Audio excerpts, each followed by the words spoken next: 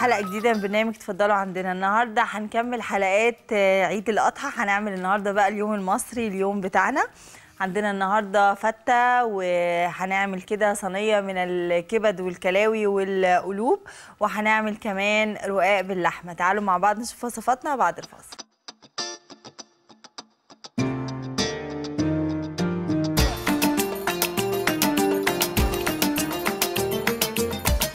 رجعنا بعد الفاصل دلوقتي وهنشوف معانا أول وصفتين. النهارده هعمل أول وصفة بتاعه الكبد والكلاوي والقلوب. طبعا بنعملها كل سنة بس كل سنة كده بنحاول نغير فيها شوية.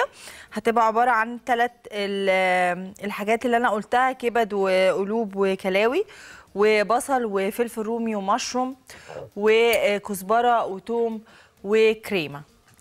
طيب هنجيب كده السمنة. أول حاجة آه، القلوب بتاخد وقت أطول في النار.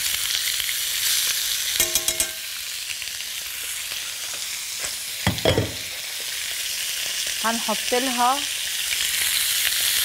فلفل أسود كده وبق صغير قوي من الخل.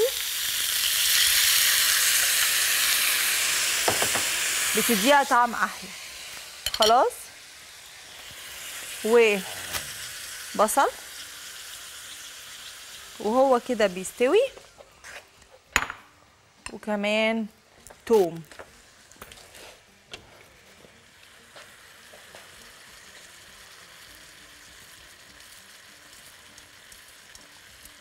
أنا بحب أسوي كل حاجة آه، لوحدها. مش بحب أسويهم مع بعض بصراحة. عشان كل حاجة تستوي آه، صح؟ الكبدة من من الحاجات اللي ما بتاخدش وقت خالص على النار.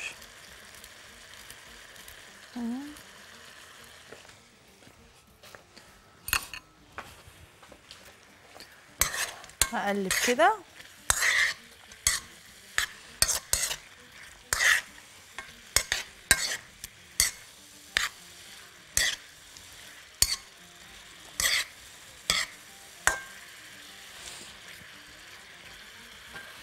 وفي الحلة هنا.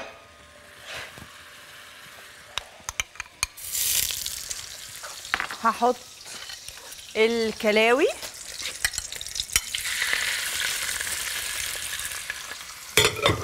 هحط لها فلفل أسود. بس الكلاوي بقى مش هحط لها خل. القلوب بتبقى فيها زفارة كده بسيطة فعشان كده بحب أحط لها الخل.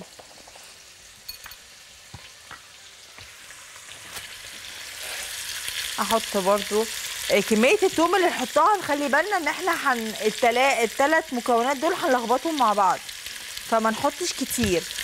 يعني أنا عايزة سبع فصوص توم نحاول نقسمهم.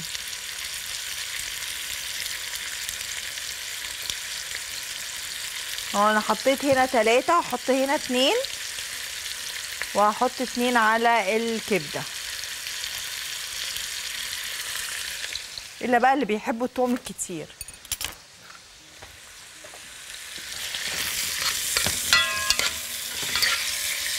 أهو هحط بصل. بصل بيحليها قوي. وما نغطيهاش عشان ما تسودش.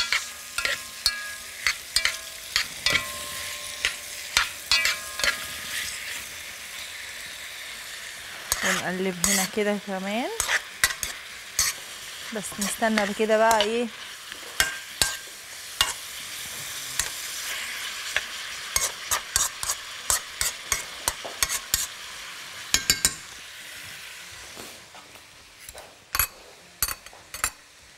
طيب ممكن بقى نعمل كده الرقاق. نحط هنا الزبدة.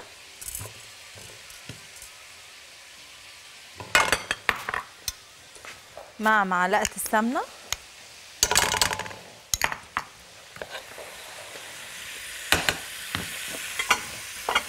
أنا بعمل الرقاق الطري بطريقة كده معينة بحبها جدا وبتطعمه قوي.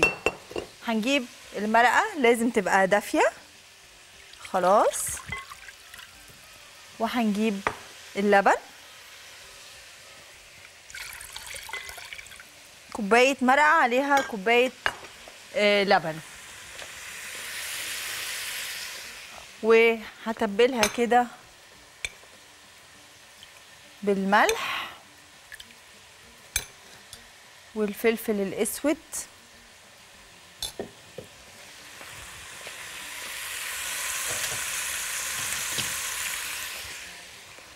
نلخبطهم كده. وبما إن في جوز الطيب برضو إيه هحط كده إيه جوز الطيب.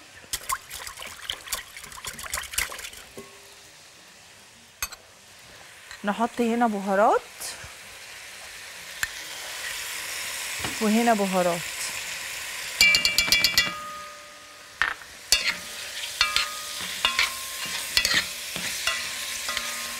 البصل والثوم مش هيخليني أحتاج إن أنا أحط مية خالص. لأن مية البصل لما بتنزل دي كفاية جدا. وهنا كمان.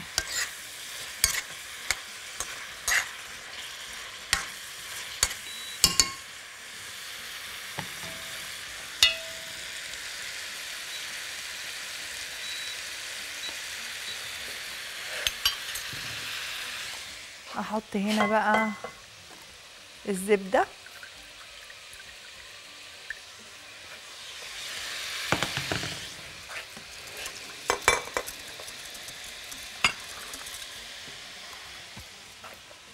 واجيب الصينية بتاعت الرقاق.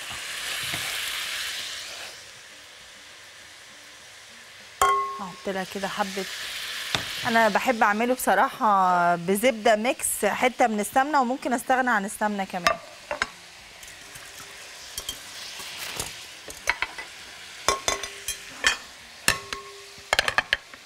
هجيب كده بقى الرقاق. عايزة أقول لكم بقى اللي يتقص منه ده طبعا مش هيترمي ده بيتقطع كده مكعبات وبيتقلي. وهنشوف بقى في ال في السيجمنت التاني هنعمل بيه إيه اللي إحنا آه، قطعناه ده. إحنا ممكن نقطعه حتة كمان.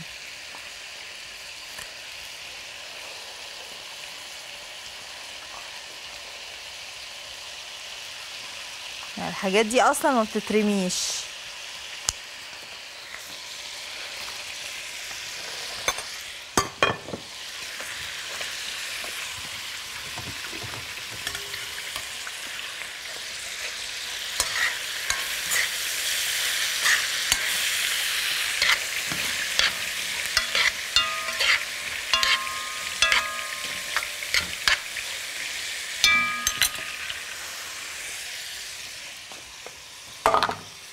ابتدي بقى أحط اللبن مع المرقة مع الزبدة.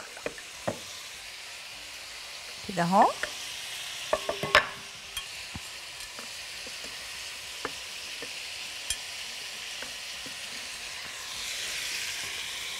هنا كده. لازم الحاجة تبقى آه، دافية. وأحط كده.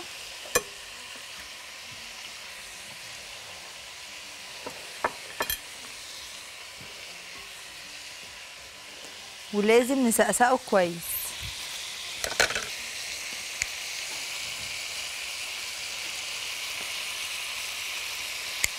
عادة الرقاق ما بيجيش مظبوط فلازم نقصه وإحنا بنشتغل.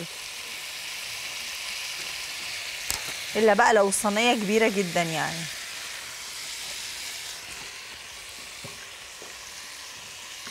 نحطه كده. نضمن إنه كله بقى آه، باللبن والمرقة والزبدة.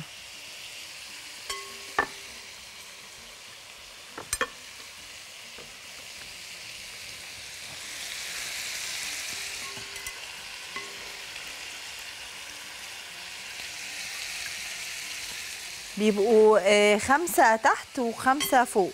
يعني أنا بحب كده عشان ما يبقاش تخين قوي. أهو كده. نحط اللحمة.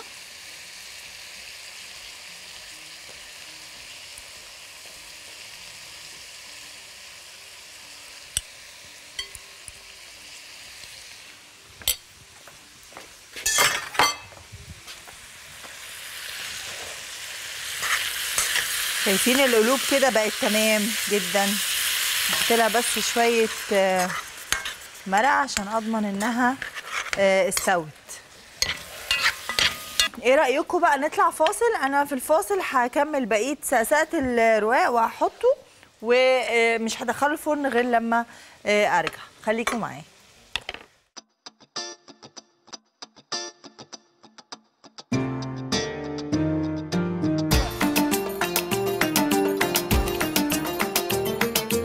رجعنا بعد الفاصل. أهو الرقاق. حطيناه كده وقطعته مثلثات وحطيت عليه شوية آه، زبدة سايحة فوق الوش هحطه دلوقتي في الفرن.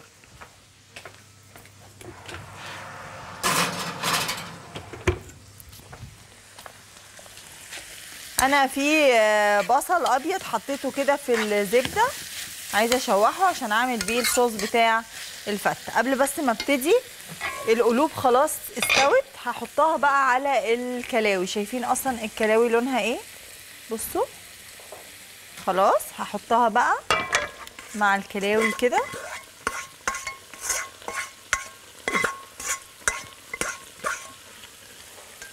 إيه وأسيبهم كده إيه يغلوا مع بعض غلوة.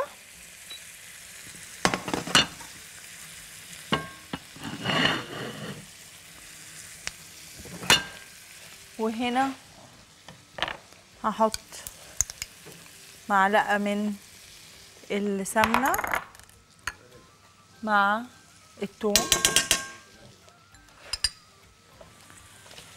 بقية الثوم هنا هحطه مع البصل. بصل شرايح مع آه، توم مفروم. ده اللي هعمل بيه صوص الفتة المصري. بس هعملها كده بتركة مختلفة شوية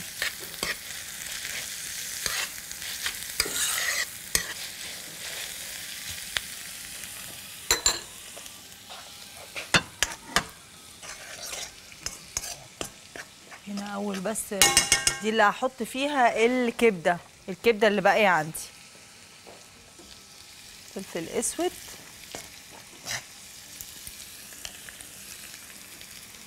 وشرايح الكبدة.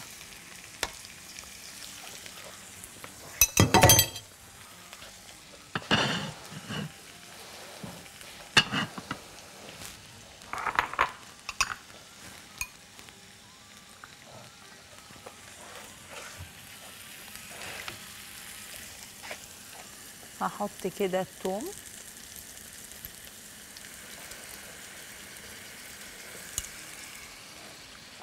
واحط هنا برضو إيه شريحتين كده من الثوم أنا حطيت مفروم عايزة أحط كمان إيه شرايح.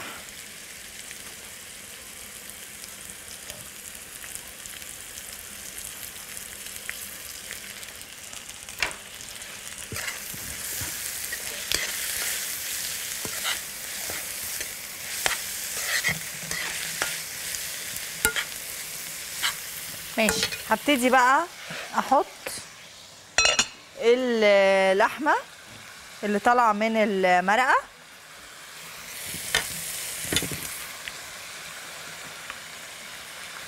لحمة عادي بعظم سلقتها كويس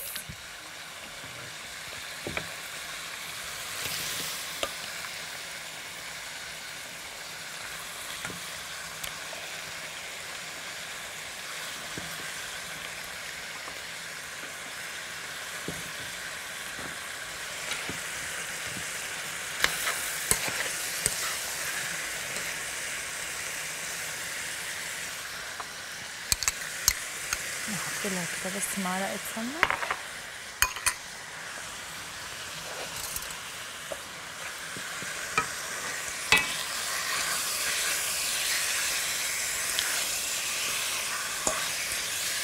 كبدة اقلبها بالراحة خالص لحد بس ما لونها يتغير. طيب هبتدي بقى هنا أحط على الكلاوي والقلوب.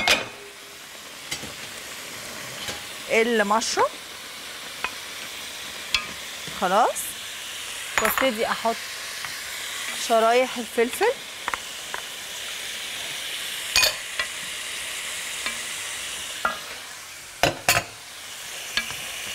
وأقلب كده كويس قوي. عايزة أقول لكم طعمها بيبقى جميل جدا جدا الوصفة دي. وهجيب الكريمة. هحط شوية صغيرين مش كتير تطعمها بس. لكن مش عايزاها تغير لونها.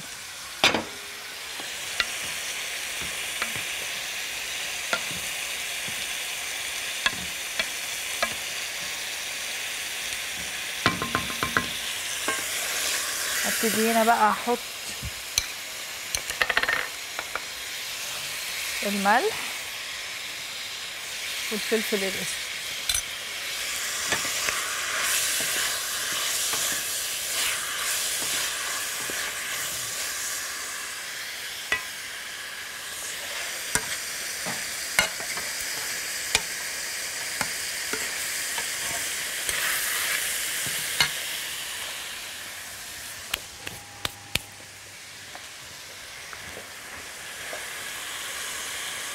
المرقة بقى دي غليت خلاص هسيبها كده. أحط دي.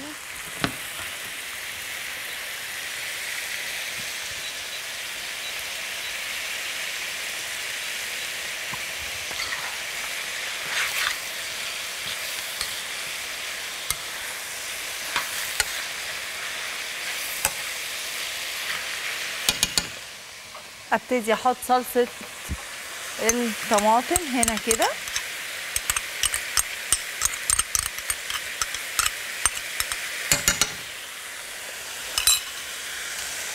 مكان كده بولت الصلصة هحط الخل.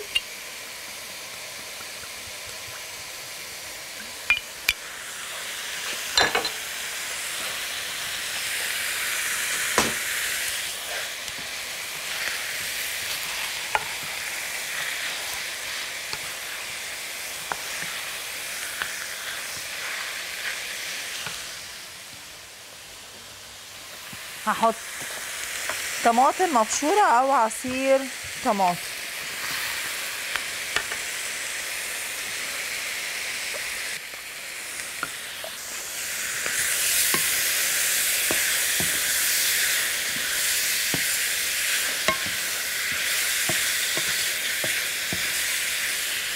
وهحط برضو الخل هنا مع معلقة السمنة.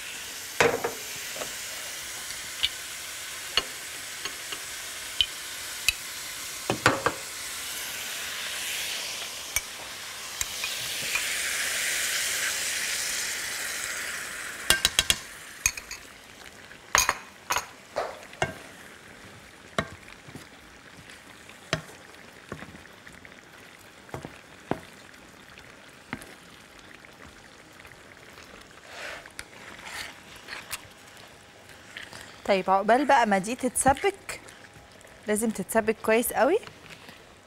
تعالوا أقول لكم هنغرف الفتة إزاي. هجيب الطبق كده اللي هغرف فيه. شايفين الرقاق اللي اتبقى منه؟ قليته في الزيت عادي زي ما بقلي أي حاجة. قليته في الزيت وهحطه كده عايزة أقول لكم طعم الفتة بيختلف جدا آه، مع الرقاق ده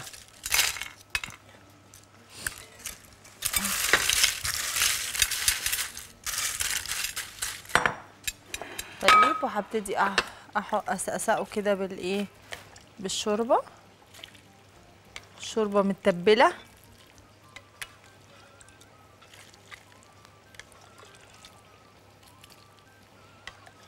وما نحط شوربة كتير لأنه بيطرى بسرعة.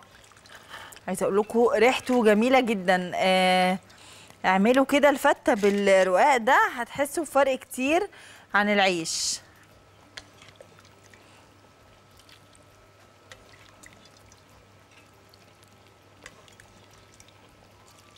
بس كده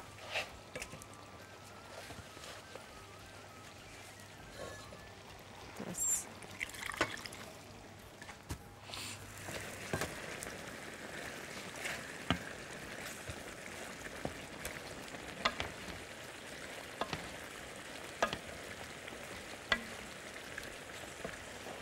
طيب ابتدي بقى أحط الرز. أنا المرة دي جايبة رز بسمتي بس طبعا اللي أنتوا حابينه. عايزين رز مصري عادي عايزين رز بسمتي مفيش مشكلة.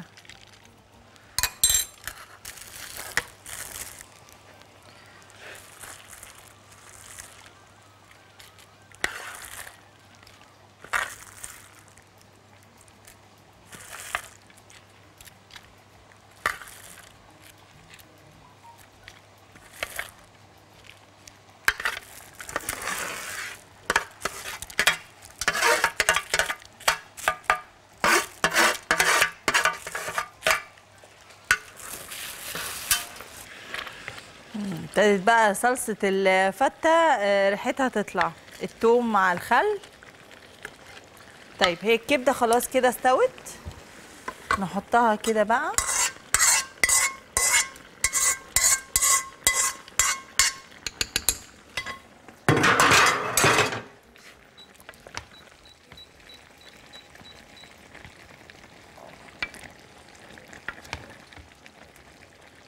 بس ونبتدي بقى إيه نغرفها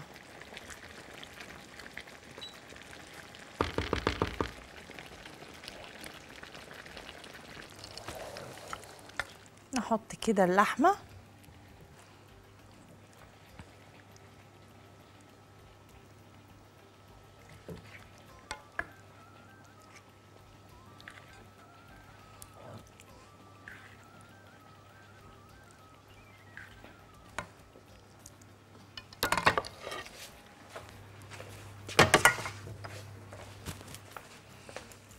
نحط كده عليها البقدونس.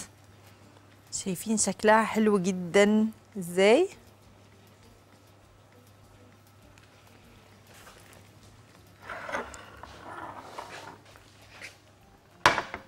كده. نبتدي بقى نغرف الوصفة التانية بتاعت النهاردة.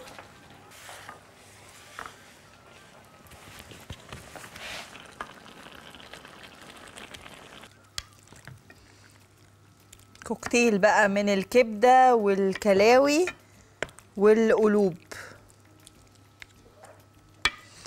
وتعالوا شموا بقى الريحة. حلوة جدا جدا جدا.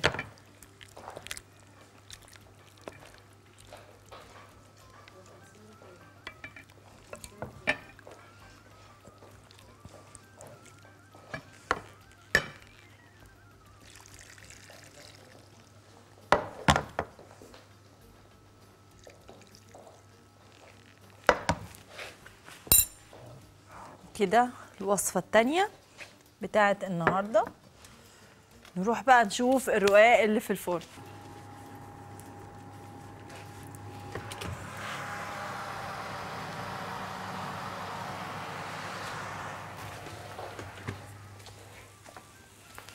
وكمان الرقاق استوى.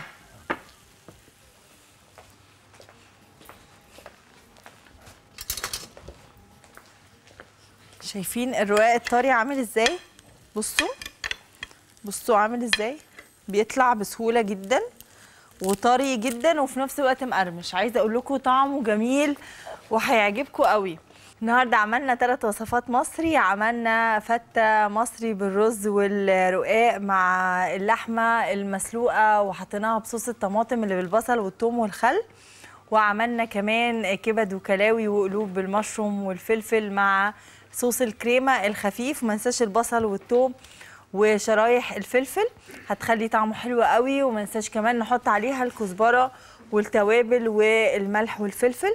وآخر وصفة عملناها النهارده الرقاق الطري اللي باللحمة المفرومة. يا رب تكون النهارده الوصفات عجبتكم. أشوفكم إن شاء الله في حلقة جديدة وكل سنة وإحنا كلنا طيبين. باي باي.